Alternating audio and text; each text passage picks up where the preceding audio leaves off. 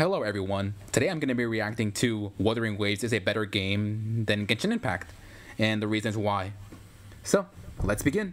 Wuthering Waves is a better game than Genshin Impact. Yup, I said what I said.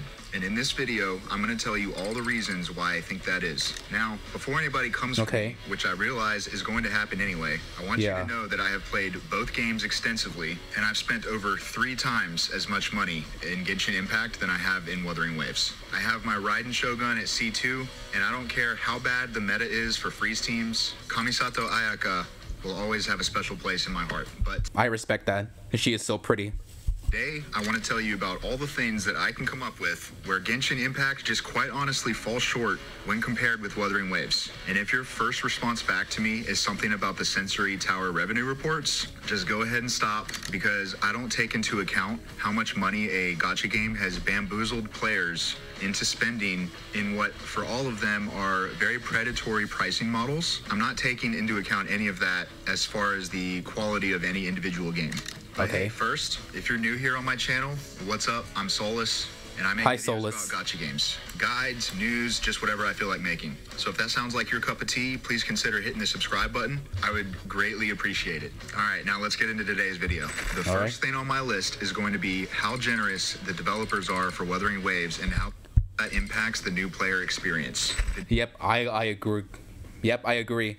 When you first play Genshin Impact, you barely get any rewards. But when you start playing Wuthering Waves, the amount of rewards you get is so high. It is much higher. new player experience is going to be significantly better than it is for Genshin Impact for one simple reason. And that Yep. reason is Wuthering Waves gives you three free five star characters from the standard banner, as well as Yep. something like 30 pulls, 30 free pulls for the limited banner, if I remember right.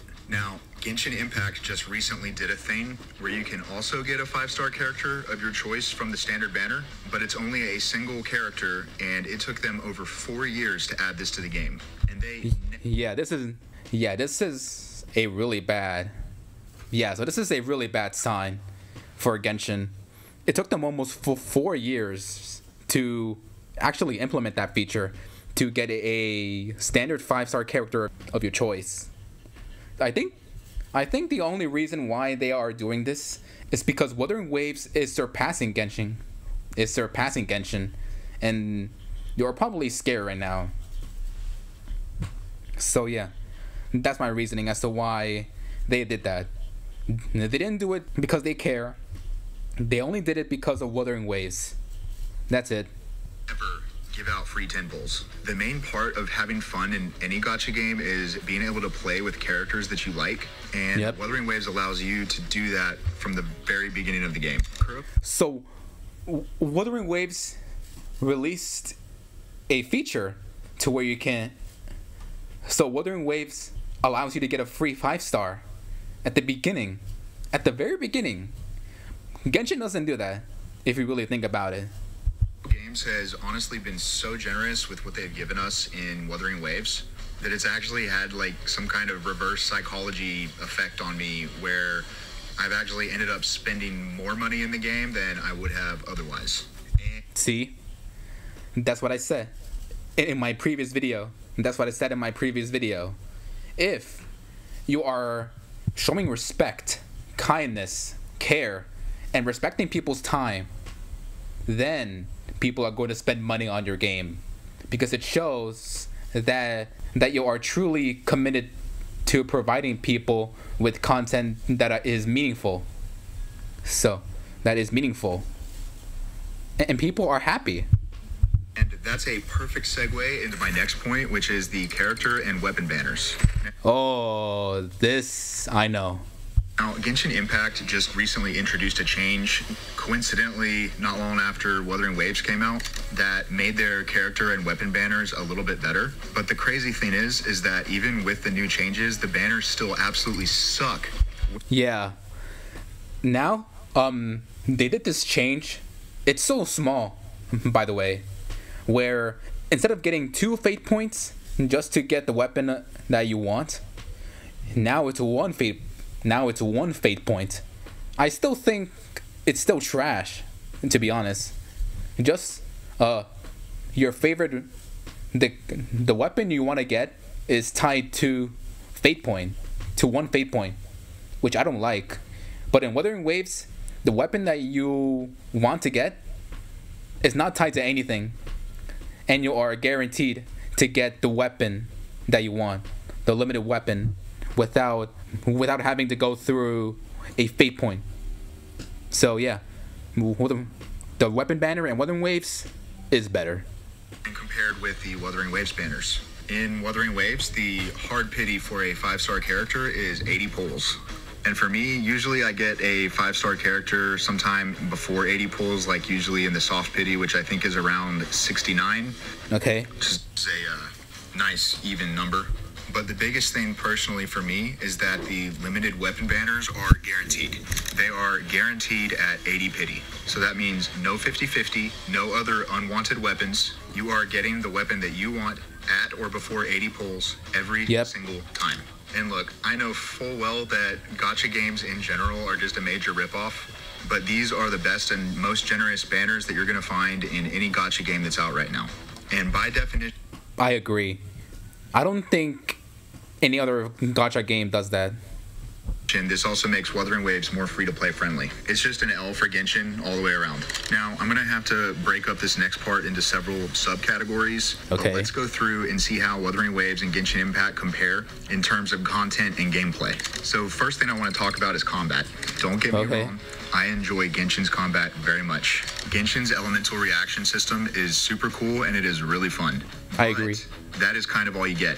The game is easy, and once you learn the elemental reactions, that's it. Enemies and bosses and mobs are just sponges for damage numbers, and you can just mindlessly grind it away. In Wuthering Waves, you have dodges, counterattacks, Yep. intro and outro skills, and a stagger bar for enemies. Yep. Genshin does not have any of this. But in Wuthering Waves, you can dodge. But in Genshin, you can't dodge. You can't do any counterattacks in Genshin. All of those elements in Wuthering Waves make the combat feel way more dynamic in every single fight. You sometimes actually have to think, and I know that can be a scary word, but trust me, it's worth it. So mm-hmm. while I do acknowledge that it is possible for somebody to enjoy Genshin Impact's combat more, if anyone is to try and say that Genshin Impact's combat is just objectively better, that is just false. You can say that it is easier or that you enjoy it more, but that's about it. Okay, I agree. It doesn't make any sense. Uh, because remember, Genshin Impact and Wuthering Waves, they both meant to have different combat systems. They're, they're not meant to have the exact same. Now, let's move on to world exploration. This is an area where Wuthering Waves absolutely blows Genshin Impact out of the water. Yep. The stupid This is so annoying. It annoys the hell out of me. And annoying stamina bar that you have in Genshin Impact that runs out after like 10 feet of sprinting. Yep. In Wuthering Waves, you can sprint. Yeah.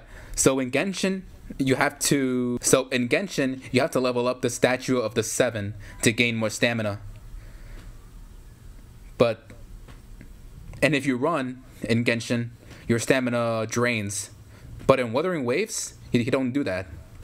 In Wuthering Waves, you can literally run without having to worry about your stamina being consumed. Your heart's content with no stamina bar. You can also run up walls, double jump, and there's a grapple. Also, Yep. in the Wuthering Waves live stream for version 1.3, we just learned that they're adding even more quality of life and ways for world traversal when Black mm-hmm. Shores releases. I literally feel so cringe now every single time that I'm playing Genshin and I run out of stamina while climbing a wall at the same pace Yep. that Joe Biden unsuccessfully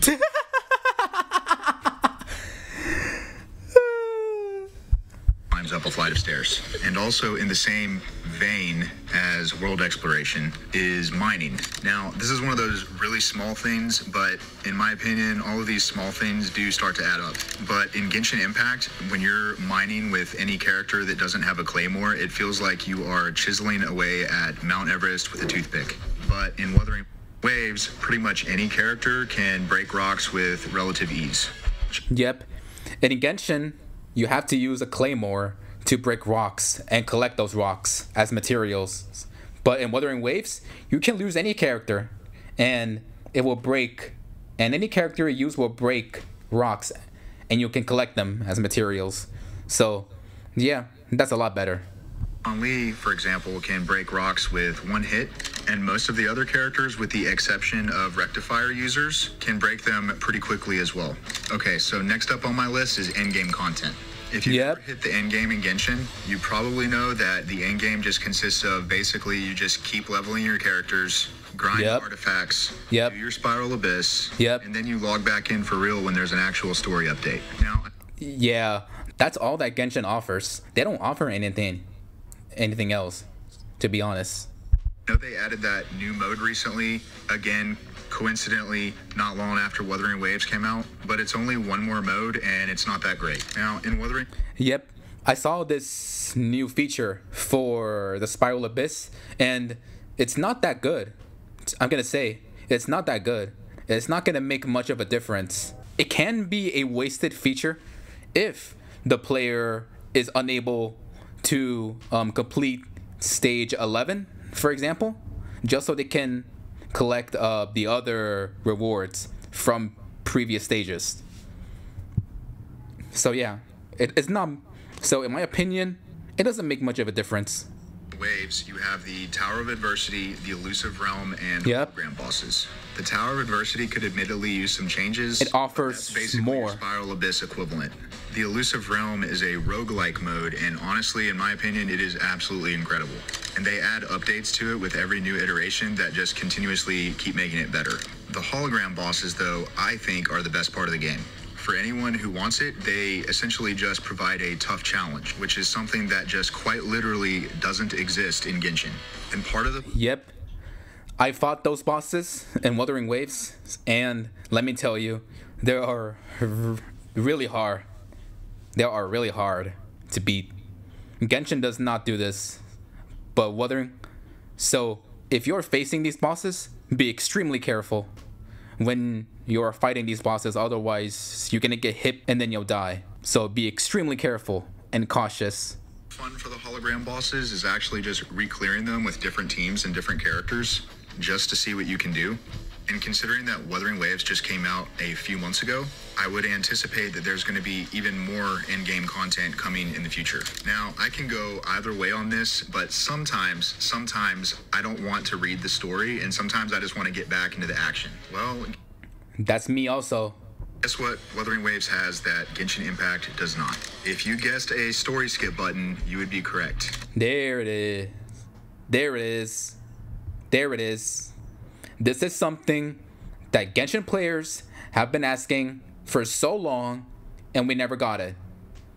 But Wuthering Waves has that feature, so we're good. Genshin players, myself included, have been asking for this for years. But in Wuthering Waves, if you're not in the mood to read, you don't have to. Simple as that. Yep. And in version 1.3 of Wuthering Waves, they are adding a new feature where when you do skip the dialogue, it's still going to give you a summary of what it is that you skipped so that you know what you missed. Huge W from Kuro Games. Okay, I agree.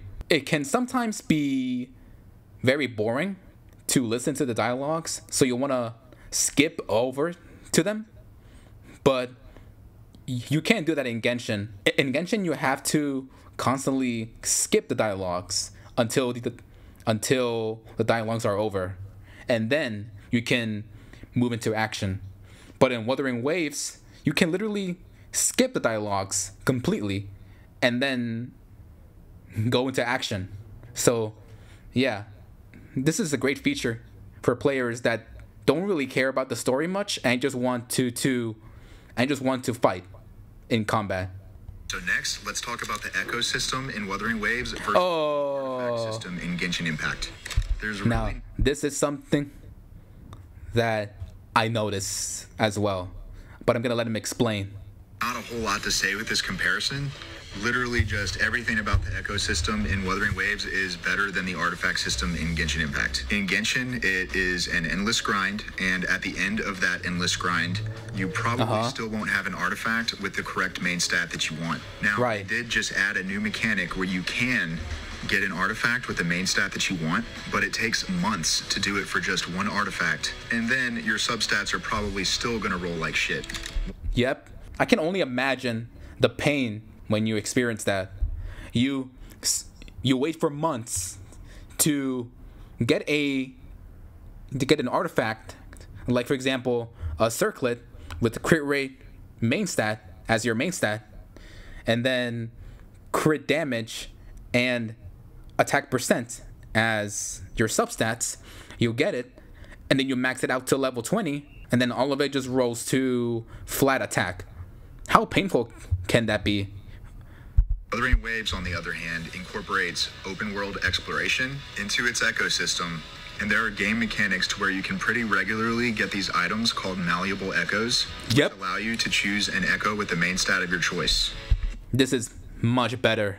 I, I swear, it's much better.